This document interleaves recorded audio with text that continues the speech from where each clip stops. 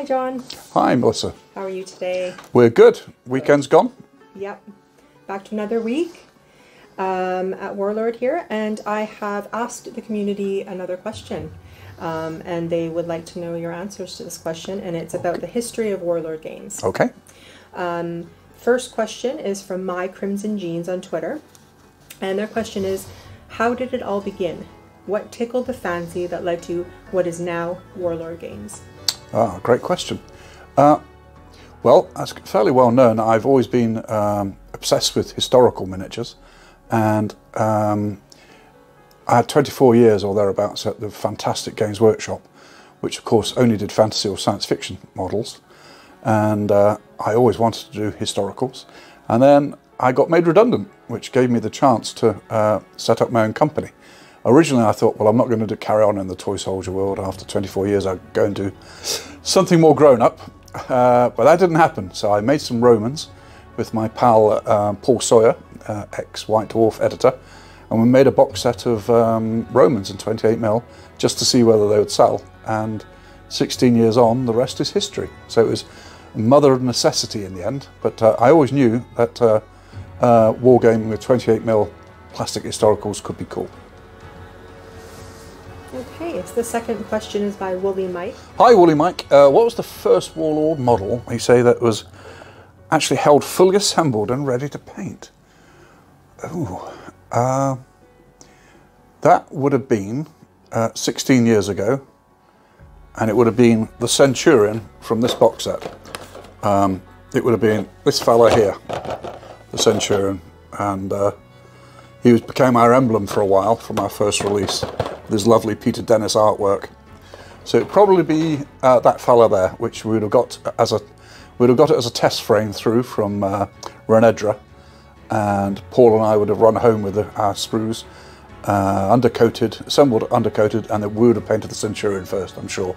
So that would be my first. Our third question is from Wayne Sanders on Instagram, and they would like to know how has Warlord Games turned out compared to your initial vision and where you wanted to take the company?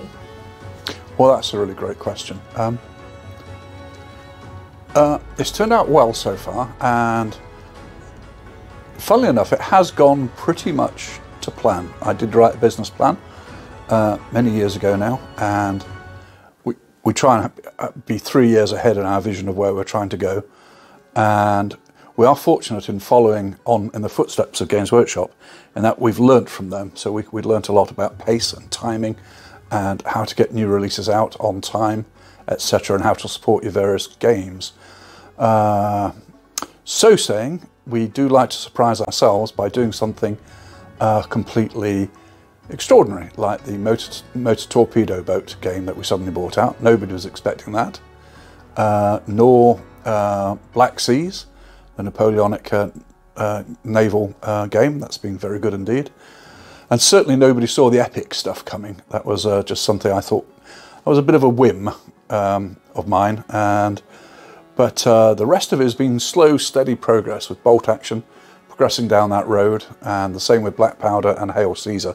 Those are our three biggest game sellers, and we're going to carry on with those very much um, in, the, in, the, manner that we, have done so far. Uh, but there's always something exciting waiting in the wings, um, and that's the way I'd like to carry on doing it. So bread and butter most of the time, then do something really wacky. Right. Our fourth question is from David Michael on Facebook, and they say, Is there a game system that was dreamt up in the early days of the past that you never did or still haven't managed to get to production or release, and what was it? Hmm. Um, yeah, you got me thinking there. Uh, there are so many good ideas for game systems that uh, you're chatting with your buddies at work or in the pub or your old war games pals, and you can think of loads of great ideas that you'd like to come to. And it's all down to the one day type thing. Um, it took me three years to convince my team here that uh, Cruel Seas could be a good fun game, and because uh, they all thought, well, that's just your obsession, John. You're interested in one six hundred scale motor torpedo boats, but nobody else is. And I did the old thing of uh, build it and they will come. and uh, and so we made a fun game, made the models look great, and sure enough, it's been a, it's been a big hit. Uh, you know, it's calmed down now, but uh, for a long time, it was a, a, a really a really cool game. Uh, others, um, I had the Epic idea many years ago again, and uh, it's not new. It was done by Games Workshop 20 years ago, but it's new to historical gaming. Uh, and so so in Epic, there's a lot more to go for. I can think of five or six great tropes that would uh, that would really do well in the Epics in the Epic system. We'll, we should be announcing another one in about six weeks' time, I think. Uh, so look out for that one. But we're never going to tire of bringing things out. Um, there's always different scales, always skirmish games, and then mass combat games. Um, so watch this space. The fifth question is from Scott McIntyre on Facebook, and they ask Is this business still as much fun for you as when you first started? Scott, I can definitely answer that one. Yes, it's uh, more so. Every day is more and more interesting and still fun. I genuinely enjoy um, coming to work, parking the car, coming in and seeing everybody at Warlord. And there's problems every day. That's a management thing. It could be if we're running a bakery. Uh, but in general, uh, it's a fun company to be working for. Making uh, model soldiers and rule books is good fun. Uh, I can't pretend it's not. Uh, it's never easy, but uh, nobody said it would be. But no, always still good fun and as much fun as I've ever had. Um, the next one is not a question, it's a just a statement from Mike Aldridge who says, I wouldn't ask him anything, I would just shake his hand and thank him thank him for such a great gaming company. Oh Mike, that's really kind of you to say so.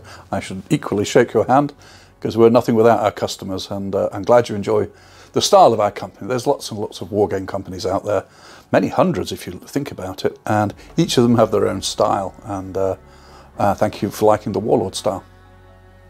Our seventh and last question is from James Cuts on Facebook, and they ask, How many names did you go through before choosing Warlord games, if any? And if so, what's, uh, what stands out as something you remember that didn't make the cut? Smashing question. Uh, Paul and I had a naming session. It's a bit like putting a band back together, putting a band together, and of course you obsess about the name of the band when it's really the, the least important thing. When you look at lots of the bands around the world, their names are you know, mean nothing. They become to mean anything, of course. Um, I wanted to call ourselves Dauntless Miniatures or Devastator uh, after McCulloch the Devastator, one of my uh, uh, heroes from the English Civil War. So it could have been Devastator games, and then Paul came up with, what about Warlord? Because we were both brought up as kids, 12 year olds, with the Warlord comic uh, an English, very English comic uh, in black and white for you American comic friends, uh, which was of its time, shall we say, and very heroic. And so was the logo, uh, so much so that we, we had a very similar logo uh, and uh, in black and red and white, which was also Games Workshop colours as well.